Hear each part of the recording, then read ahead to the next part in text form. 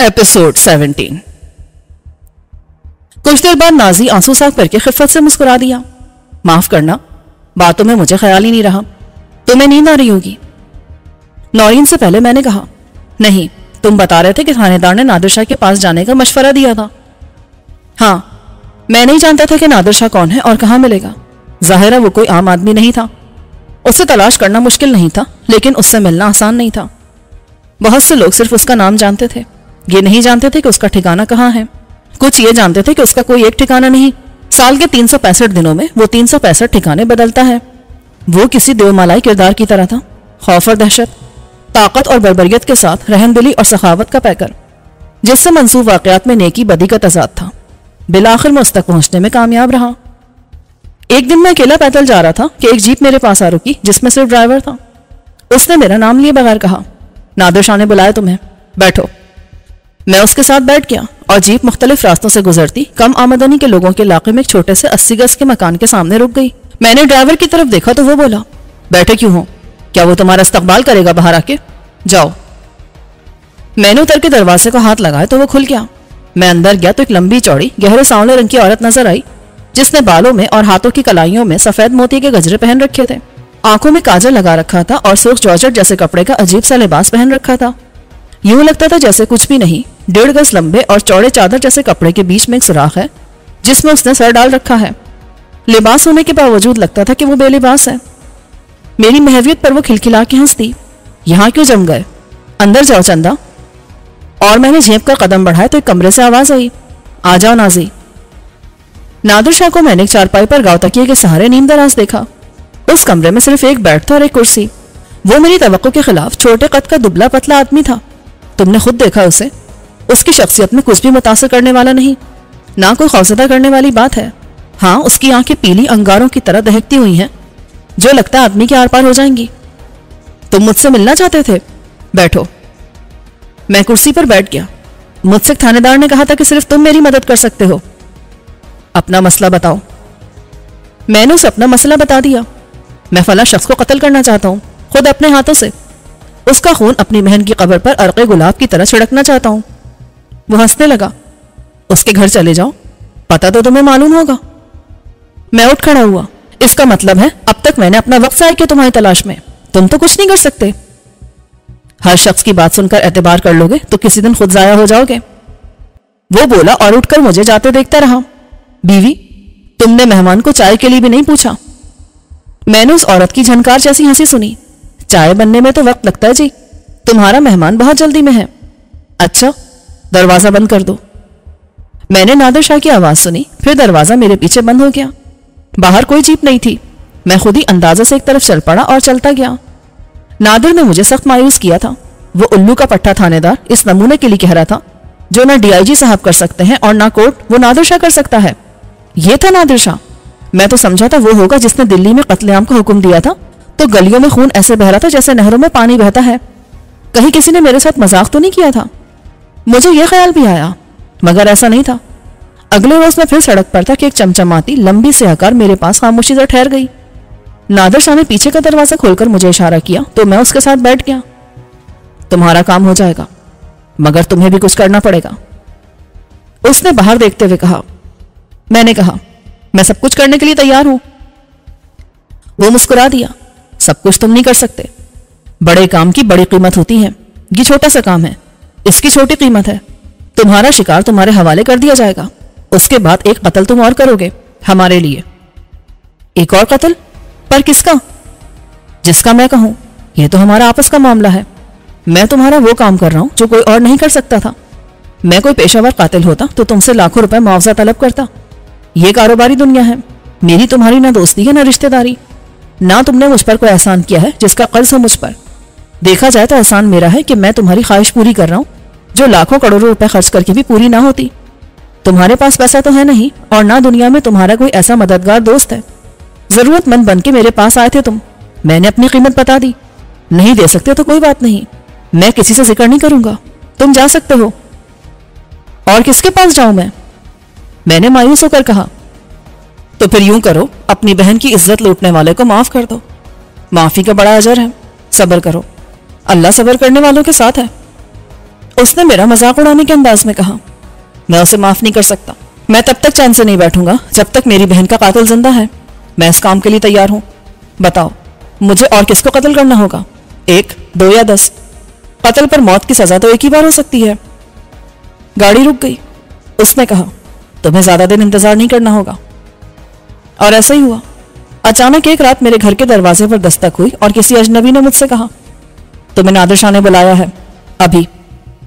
और मैं उसके साथ चल पड़ा। गली के बाहर जीप मौजूद थी। वो मुझे कोरंगी की तरफ़ किसी क्वार्टर में ले गया। आगे इंडस्ट्रियल एरिया था।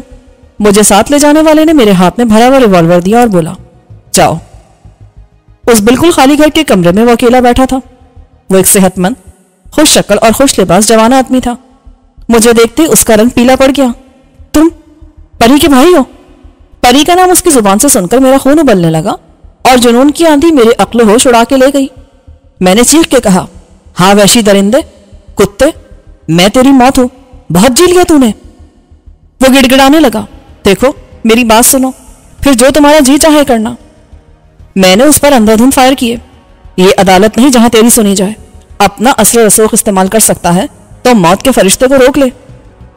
वो मेरे सामने ठंडा हो गया। अगर मेरी जगह तुम होते तो तुम्हारी अकल भी काम ना करती। थानेदार ने जिस बासर सियासी शख्सियत का हवाला दिया था, उसके दो बेटे थे। मैं दोनों के नाम जानता था, लेकिन देखा मैंने किसी को नहीं था। कोई सवाल किए बगैर और सबूत मांगे बगैर मैंने जान लिया कि नादिर शाह ने असल मुजरिम को मेरे हवाले कर दिया है। मेरे इंतकाम की आग सर्द पड़ गई और मैं अपनी बहन की मौत के बाद पहली बार सुकून की नींद सोया। उसके कातिल को जहनम रसीद करके मैं सीधा कब्रस्तान गया। और परी की कब्र पर बैठ के धाड़े मार मार के रोता रहा। जब आँसू खत्म हो गए तो मैं घर आके सो गया। अगले ही दिन नादिर शाह ने मुझे फिर तलब कर लिया और मुझसे पूछा, हो गया तुम्हारा काम? मैंने कहा, अब मैं मुतमिन हूँ, परी के कातिल। परी ने खुदकुशी की थी। नादिर शाह बोला हाँ उसकी मौत का जिम्मेदार यह शख्स था, इसीलिए तुम उसे कातिल कह सकते हो। तुमने उसे मार दिया, तुम्हारा काम हो गया। अब तुम्हें मेरा काम करना है। उसने मुझे बता दिया कि किसकी जान लेकर मुझे उसके एहसान का बदला उतारना है। ये तो मुझे बाद में मालूम हुआ कि उसने मुझ पर कोई एहसान नहीं किया था। जब मैंने उसका काम खत्म कर दिया तो मुझे मालूम हुआ कि जिसको मैं मारना चाहता था, वो तो ज़िंदा है। वो अपनी दौलत, ताकत और असर रसोख के हिसार में महफूज सारी दुनिया में फिर रहा था और आज भी फिर रहा है। उसका हर एक ठिकाना किला है। लाहौर, कराची, इस्लामाबाद, मरी के अलावा दुनिया के हर बड़े शहर में उसका महल नुमा घर है और हर घर में किला है जिसमें उसकी मर्ज़ी और इजाज़त के बगैर परिंदा भी पढ़ नहीं मार सकता। जो कत्ल मैंने पहले किया था, उसकी पूरी वीडियो रिकॉर्डिंग नादिर शाह के पास थी। जो कत्ल मैंने उसके एहसान का कर्ज चुकाने के लिए किया, उसकी भी पूरी फ़िल्म बंदी हो रही थी। हर कत्ल के गवाह उसके पास पहले से ही मौजूद थे। मेरी नादिर शाह से फिर मुलाकात हुई तो मैंने कहा, शाह जी, वो सुअर का बच्चा तो ज़िंदा सलामत फिर रहा है जिसे मैं कत्ल करना चाहता था। ये आपने मेरे हाथों किसको मरवा दिया? तुमने उसको मारा जो तुम्हारी बहन की मौत का जिम्मेदार था। उसी ने परवीन को स्टूडियो के बाहर से उठाकर अपनी गाड़ी में डाला था। बहुत लोग थे देखने वाले मगर शाहजी असल मुजरिम तो इस बड़े आदमी का बड़ा बेटा था। ये तुम कैसे कह सकते हो? क्या किसी ने यह देखा कि परी को उसके पास पहुँचाया गया था? किसी ने तुम्हें बताया कि परी को उसी ने? मैं चिल्लाया शाहजी सारी दुनिया जानती है कि वो किस कमाश का आदमी है, और सारी दुनिया जानती है कि मेरे हाथों मारे जाने वाला उसके हुक्म का गुलाम था। क्या हुक्म के गुलाम फरिश्ते होते हैं? वो परी को ना उठाता तो कुछ ना होता। मेरी इतला के मुताबिक वो परी को अपने साथ ले गया था। उसे अपने घर में रखा था और मेरी इतला गलत नहीं हो सकती। असल मुजरिम वही था। नादर शाह के सामने मैं बेबस था। मैं उसे झूठा नहीं कह सकता था। यह नहीं कह सकता था कि मेरे साथ धोखा हुआ है। उसने मेरे हाथों उसका खून करवा दिया जो जुर्म में माविन था। शरीक था, लेकिन असल मुजरिम नहीं था। उसने हुक्म की तामील करने वाले को मरवा दिया। उस खूनी दरिंदे को छोड़ दिया। हकीकत तो यही है कि नादिर शाह भी उसका कुछ नहीं बिगाड़ सकता था। हुक्म के गुलाम हर जगह कुर्बानी के बकरे बनाए जाते हैं। लेकिन उसके बाद रफ्ता रफ्ता मुझ पर सब कुछ वाजे होता चला गया। ख्वाहिश इंतकाम मेरी कमज़ोरी बन गई थी और उसने उसी से फ़ायदा उठाया। मैं जुर्म और गुनाह के खेल में शरीक हो गया, जिसको छोड़ना मेरे इख्तियार में ना था। फिर मैं ब्लैकमेल हुआ और वो सब करता गया, जो नादिर शाह ने कहा। खामोशी का वक्फा आया, जिसके बाद नाजी ने घड़ी देखी। मेरा ख्याल अब सोने की फ़िक्र करनी चाहिए। उसके जाने से पहले मैंने कहा, नाजी, एक सच और बोल सकते हो? हाँ मैं हर सच बोल सकता हूँ जो मैं जानता हूँ। क्या वो दूसरा कत्ल? जो तुमने पहले कत्ल की कीमत चुकाने के लिए किया, मेरे भाई का था। वो अपनी जगह पर मुंजमद हो गया। उसकी आँखें खला में ठहर गई और उसकी सूरत पर एतराफ जुर्म की तहरीर यूँ उभर आई कि मैं ही नहीं, नौरीन भी उसे साफ़ पढ़ सकती थी। खामोशी के एक तवील वक्फे के बाद उसने कहा, देखो, उस वक्त ना मेरी तुमसे कोई दुश्मनी थी, न शनासाई। मैं भी हुक्म का गुलाम था। यानी तुम एतराफ कर रहे हो तुमने उसे मारा था। तुम चाहो तो मुझे कत्ल करके उसके खून का बदला ले सकते हो। जैसे मैंने परी के खून का लिया। मगर यह बात मैंने भी देर से समझी कि कत्ल कौन करता है। रिवॉल्वर। और वो हाथ जिसमें रिवॉल्वर दिया जाता है, या रिवॉल्वर देने वाला। महजब मगरबी दुनिया में एक बात कही जाती है कि कत्ल असलाह नहीं करता। लोग करते हैं। मैंने कहा, इसके बावजूद सजाए मौत गोली चलाने वाले को दी जाती है वहाँ भी। उस वक्त नौरीन ने अपनी मदाखला ज़रूरी समझी। जब हम इस बात को खत्म कर चुके तो दोबारा क्यों कर रहे हैं? मैंने तलखी से कहा, फ़िक्र मत करो। तुम्हारा भाई अब महफूज है। नाजी खामोशी से बाहर चला गया। मुझे तो सख्त थकन हो रही है और नींद भी आ रही है। नौरीन ने कहा और बिस्तर पर लेट गई। ये लाइट मत बुझाना। मैं नीचे दरी पर लेट गया और ना जाने कितनी देर तक छत को घूरता रहा, जो एक सिनेमा स्क्रीन बन गई थी और जिस पर मेरी उम्र रफ्ता की किताब का हर सफ़ा एक ज़िंदा मंजर की तरह सामने आ रहा था। मैं और मेरा भाई जो इसी तरह छोटे से बड़े हुए थे, जैसे परी और नाजी। नाजी के और मेरे जज्बात की शिद्दत में फ़र्क ना था। उसने अपना बदला ले लिया था। मैं नादिर शाह के उस ख्याल से मुतफिक था कि असल मुजरिम वही था जो नाजी के हाथों मारा गया। इसी उसूल पर असल मुजरिम तो नाजी ही साबित होता था। ना जाने कब ख्यालों के पुर आसिफ जंगल में भटकते भटकते नींद ने मुझे अपनी मेहरबान आगोश में ले लिया। मेरा जिसम इससे ज़्यादा टेंशन और थकन बर्दाश्त नहीं कर सकता था। उसने दिमाग से नींद की पना मांग ली। सुबह ना जाने किस वक्त मेरी आँख खुली तो कमरे में अंधेरा था। बल्ब रोशन था मगर बंद दरवाजे की झिरी से दिन का उजाला चमक रहा था। एक सुराख से गुजरकर आने वाली धूप फर्श पर नन्ना सा सफ़ेद दायरा बना रही थी और उसकी गुजरगाह के सुरमई धुंधलके में गुबार के जर्रा तैरते नज़र आए। खबर उठो। देखो, दरवाज़ा बाहर से बंद क्यों है? नौरीन की आवाज़ में घबराहट थी। मैंने उठकर दरवाज़ा खोलना चाहा। वो वाकई बाहर से बंद था। मैंने चिल्ला के नासी को आवाज़ दी, मगर मेरी हर पुकार का जवाब सन्नाटे ने दिया। दरवाज़ा बाहर से मुकफिल है। मैंने कहा हम बेयकीनी के साथ नीम रोशन कमरे में बैठकर इंतज़ार करने लगे। खौफ और घबराहट से नौरीन का रंग उड़ गया था। खावर, ये दरवाज़ा आखिर क्यों बंद है? मैंने सर खुजा के कहा, बहुत सोच विचार के बाद मैंने सवाल का जवाब तलाश कर लिया है। दरवाज़ा मुकफिल है, वो भी बाहर से। नौरीन खिसियानी खफकी से बोली, तुम्हें मज़ाक सूझ रहा है। सोचो हम बाहर कैसे निकलेंगे? ये भी सोच लिया है। एक तरीका तो बहुत ही आसान है। दरवाज़ा खुल जाए। दूसरा कुछ मुश्किल है। हम कुदरत के किसी करिश्मे से च्योटी बन जाएँ तो नीचे काफ़ी जगह है। अंदर बाहर निकल के फिरेंगे ऐसे ही। ये नौरीन की कुत बर्दाश्त से ज़्यादा हो गया। उसने मुझे मजरू नज़रों से देखा और दोनों हाथों में चेहरा छुपा के रोने लगी। बेवकूफ़ समझते हो ना तुम मुझे? आजाब बन गई हूँ मैं तुम्हारे लिए। बस, यहाँ से निकल के मैं तुम्हारी जान छोड़ दूँगी। मर जाऊँगी किसी दरिया में डूब के, या किसी ट्रेन की पटरी पर लेट जाऊँगी। मैं मार खा गया। ऐसे शदी जज्बाती रद्दमल की मुझे जरा भी तो ना थी। एकदम मैंने उसे अपनी बाहों में समेट लिया, मगर आग और भड़क उठी। छोड़ दो मुझे। मत करो ये ड्रामा कि तुम्हें मेरा बहुत ख्याल है। बड़ी फ़िक्र है मेरी। नौरीन प्लीज़ ना रो। आई एम सॉरी गलती हो गई मुझसे। मुझे अंदाज़ा नहीं था कि तुम इतनी नर्वस हो। मैं चाहता था कि तुम इजी हो जाओ। मैं तंग आ गई उस मोहताजी से। मेरी जैसी लड़की को ज़िंदा रहने की क्या ज़रूरत है? जिसके चेहरे पर सिर्फ़ रसवाई की कालिक है, जिस पर कत्ल का इल्ज़ाम है, जिसका दुनिया में कोई नहीं। मैं हूँ ना नौरीन? सब मेरी तसल्ली के लिए कहते हो, झूठ से बहलाते हो मुझे। मेरा एतबार करो नौरीन, तुम्हारी कसम, मैं जो करता हूँ, दिल से करता हूँ। करना चाहता हूँ, ऐसा ना होता तो मैं यहाँ होता तुम्हारे साथ। कब का चला क्या होता मैं? कौन था मुझे रोकने वाला? लेकिन मैं नहीं जा सका। तुमने मुझे रोक लिया। ज़ुबान से ऐसा कहे बगैर, अब तो जहाँ तकदीर ले जाए, मेरा तुम्हारा साथ टूटने वाला नहीं है। सच कहते हो, मुझे छोड़ोगे तो नहीं? क्यों? क्या तुम्हें मेरी नज़रों में झूठ नज़र आता है? चलो ये दरवाज़ा क्या चीज़ है? मैं तुम्हें इन दीवारों से गुजार के भी ले जा सकता हूँ। ऐसे कि तुम्हें खराश भी ना है? मेरे सर का नारियल बेशक टूट जाए। वो हंस पड़ी। हम्म, टारजन कही के। बाहर आया है कोई शायद? वही होगा नाजी। तुम खामा खामे हॉल रही थी। वो क्या होगा नाश्ता लेने? देर हो गई। उसी वक्त बाहर लगे ताले में चाबी घुमाई गई। दरवाज़ा खुला और मैंने अपने मुकाबिल दो अफराद को देखा, जिनके चेहरे नकाब या ढाटे में नज़र नहीं आते थे। उन दोनों ने मलेशिया के ग्रे शलवार कमीज और पिशावरी चप्पल पहनी हुई थी। दोनों में से एक का कद कुछ कम था, मगर गठे हुए मज़बूत जिसम का मालिक था वो। दूसरा कद में मेरा हम असर, लेकिन इस बदन हल्के बदन का था।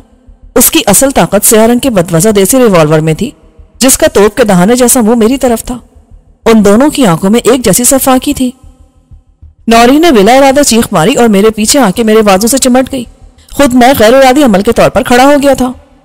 यह पूछना गैर ज़रूरी या लाहासिल था कि तुम कौन हो और क्या चाहते हो? मगर मैं ये भी नहीं कह सकता था कि खुशामदीद। मिजाज बखैर बॉक्सर जो खाली हाथ था, मेरे सवाल पर हंस पड़ा। फ़र्ज़ कर ले कि मैं फरीदुद्दीन हूँ। रिवॉल्वर वाले ने फिल्मी अंदाज में असलाह लहराया। चल पीछे। दीवार के साथ लग के बैठ जा। तू भी बुलबुले जा। शको शुबे की बात कोई ना रही थी। ये नादर शाह की पुलिस थी जिसे यहाँ नाजी की निशानदेही पर भेजा गया था। वो चालाक आदमी मेरी तो से कहीं बेहतर एक्टर साबित हुआ था। उसने जो किया, कामिल एतमाद और सुकून के साथ किया था। उसे कोई जल्दी नहीं थी। वो हमारे साथ रहा। हमारी हमदर्दी हासिल करने के लिए अपनी मजबूरी की दुख भरी कहानी सुनाई और हमारी आँखों पर भरोसे की ऐसी पट्टी बांधी कि हम उसके पीछे पीछे चलते हुए इस जगह तक आ गए थे, जो चूहेदान था। हम चूहों की तरह पकड़ लिए गए थे। दीवार के साथ पीठ लगाकर मैंने टांगे फैला ली और नौरीन से कहा, एक भाई ने अपनी बहन की रुखसती का कितना शानदार इंतज़ाम किया है, मिस नौरीन। उसने मजरू नज़रों से मुझे देखा, लेकिन ज़ुबान से कुछ ना बोली। आलू ने तुम्हें सलाम भेजा है? गनमैन बोला, आलू याद है ना, अलाउद्दीन? मैंने खुशदिली से जवाब दिया, वालेकुम अस्सलाम। खैर से तुम भी वहीं से आए होगे, जहन्नम से। वो कहाँ है? तुम उससे मिलोगे तो मालूम हो जाएगा। दूसरे ने जेब से सिगरेट निकाल के जलाई। फिर इंतज़ार कैसा है? चलो, बस तुम्हारी मैयत गाड़ी आ जाए, वो पीछे आ रही है। बॉक्सर बोला, मैं नादिर शाह को अच्छी तरह समझता था और उसके गैर जज्बाती तरीक़ाकार से भी वाकिफ था। उसने वाज हिदायत दी होंगी कि चौधरी फरीद को ज़िंदा सलामत लाना है, लेकिन कोई भी रिस्क नहीं लेना। वो खुद मरने पर कमर बस्ता हो तो मार के वहीं छोड़ाना चुनाचे में फिल्मी हीरो टाइप किसी एक्शन के बारे में बिल्कुल नहीं सोच रहा था। पहली फ़िक्र मुझे नौरीन की थी। नादिर शाह उसके नाम से भी नाशना था। और अगर मेरे साले का किरदार कामयाबी से निभाने वाले नाजी ने उसे नौरीन के बारे में ब्रीफिंग दे दी थी, तब भी मेरे और नादिर शाह के मामला का उसकी सेहत पर कोई असर नहीं पड़ना था। फिफ्टी फिफ्टी चांस ये था कि वह नौरीन को इजाज़त दे कि चौधरी फरीदुद्दीन की, जिसे तुम खावर कहती हो, फ़िक्र छोड़ दो। उसे तो समझो मरूमा मकफूर हुआ। मोहब्बत तो क्या है? बाद में किसी और से कर लेना। शुक्र करो कि उससे निकाह नहीं किया, वरना अभी तक बेवा बन के चार माह दस दिन की इद्दत गुजारने पड़ जाती। चाहोगी तो ये भी बता देंगे कि तुम्हारा महबूब मरहूम कहाँ मदफून है, वरना घर बैठ के मफरत की दुआ तो मांगी जा सकती है। मुझे थोड़ी सी मोहलत मिल गई थी। बकौल बॉक्सर मेरी मैयत गाड़ी आने तक। एक अच्छी बात यह हुई थी कि ये हुक्म के गुलाम मेरी तो के खिलाफ थोड़े से अहमक साबित हो रहे थे। वो हर किस्म के जराइम का तजुर्बा रखते थे, लेकिन ज़िंदा गिरफ़्तार करने के बुनियादी उसूलों से भी नावाकिफ थे, वरना मुझे तोप के दहाने पर रख के मुतमिन ना हो जाते। सबसे पहले वो मेरी तलाशी लेते और असलहा बरामद कर लेते। उनके अपने हाथ में बड़ा जालिम रिवॉल्वर था और उन्हें अपने निशाने पर भी एतमाद था। चुनाच उनके दिमाग में यह ख्याल ना आया कि असलहा मेरे पास भी हो सकता है और यह उनके लिए बहुत बड़ा रिस्क है कि उन्होंने मुझे निहत्ता नहीं किया। खुदा से मैंने एक दुआ करने में कोई हर्ष न समझा, जो दर हकीकत टू इन वन थी। कबूलियत की घड़ी का किसे पता होता है? मैंने दुआ की कि दुश्मन मेरी तलाशी ना ले। इस तरह एक तो मेरे पास असलहा महफूज रहेगा, जो था तो नाजायज, लेकिन वक्त ज़रूरत मेरी जान बचा सकता था। इस दुआ के कबूल होने की सूरत में वो तमाम रकम भी महफूज रहती, जिसका इल्म मेरे सिवा सिर्फ़ अल्लाह को था, या मरहूम सलमान खान की रूह को, जो उसे मुझसे वापस नहीं मांग सकती थी। नौरीन तक ये नहीं जानती थी कि मैं एक लखपति आदमी हूँ। माल मेरा ना सही। दुनिया में ज़्यादातर लोग तो लूटमार और दूसरों के माल से दौलतमंद बनते हैं।